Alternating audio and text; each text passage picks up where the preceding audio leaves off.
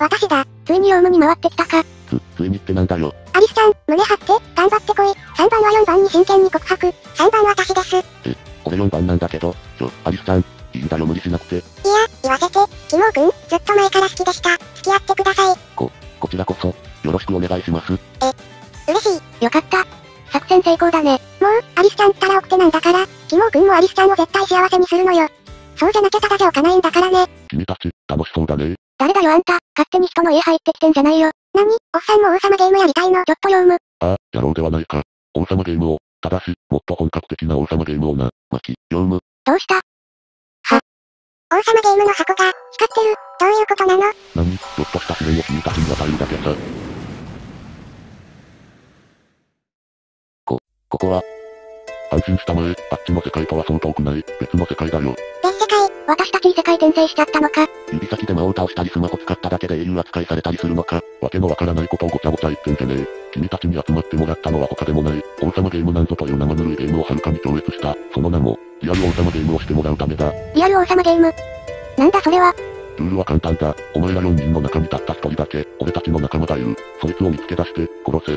最後まで殺せなかったら、そいつ以外を俺が殺す。お、おっさん何言ってんだよ。この中におっさんの仲間がいるって。私たち4人ともあんたとは初対面だよ。それは嘘だ。たった一人だけ、俺と面識のある奴がいる。そいつは俺の命令で、お前らのことを友達のふりをしてずっと監視している。そんなはずない。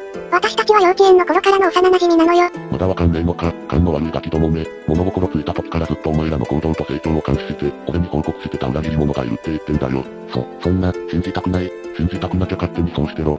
だが、タイムリミットは1ヶ月だ。1ヶ月以内に裏切り者を殺せなかったら、お前ら、裏切り者以外全員死ぬんだからな。俺の手によって、お前みたいなおっさんに何ができるっていうのよ。なんと愚かな、この世界へとお前らを導いたのは、俺の力がこのゲームボックスを動かしたからなんだぞ。ゲームボックス？あ、この箱か。それで、どうやって裏切り者探しをしろっていうの？これも簡単だ。お前らには旅に出てもらう。隠して、俺たちはなぜか旅に出ることになった？ルールとしては、まず、道を歩いていると時々ゲームボックスが出現するので、それを引く。王様だーお、俺かよ。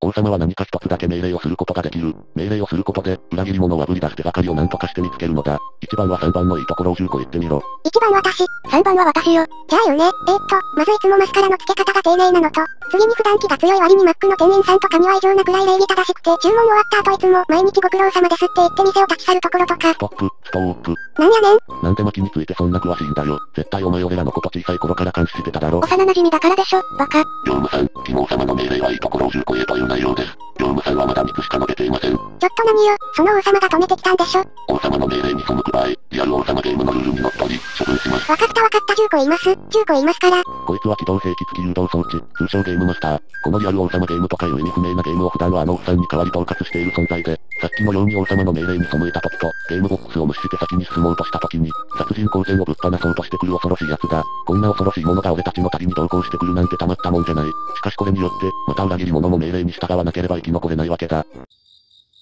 え、次のゲームボックスまであとどのくらい歩けばいいん？ゲームボックスとはいわばチェックポイントのようなもの。しかしどこに設置されているかは私も把握していません。犯人探しだけじゃなく宝探しまでしなきゃいけねえのかよ。私。怖いよ。ずっと一緒だった親友たちから裏切り者を探して、殺さなきゃいけないなんて、殺さなくていい方法だってあるはずだよ。殺さなくていい。方法、それは認められません。裏切り者か、それ以外全員か、どちらかが死ぬ、それをもって決着です。1ヶ月以内に決着がつかなければ、ゲームマスターにより宣言が執行、押される。それがこのリアル王様ゲームのルールです。それでも、最終的にゲームマスターやあのおっさんと戦うことになっても、俺たちは全員生きてあの家に帰る。そしてこの4人で、リアル王様ゲームじゃない、いつも通りの王様ゲームをまたやろう。キモーくん甘い言葉ばっか言って、彼女だからってカッコつけてんじゃねえよ。マキちゃんやめて、キモーくんは、私たちがあのおっさんと戦う、ふざけんじゃないよ。そんな無責任なこと勝手に言ってんじゃねえよ。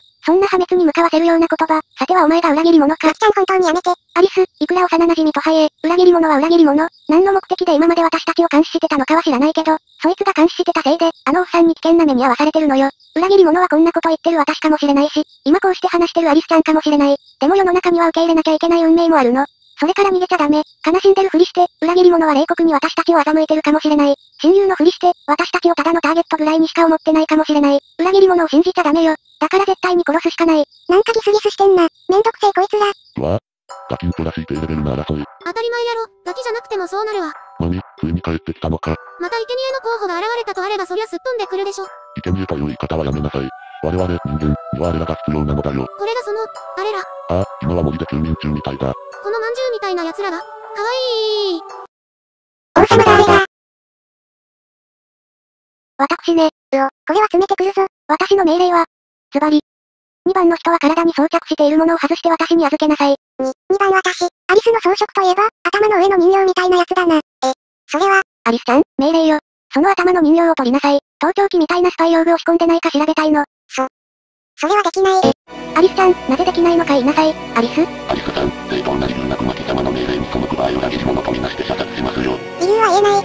けど本当なんです。本当にできないんです。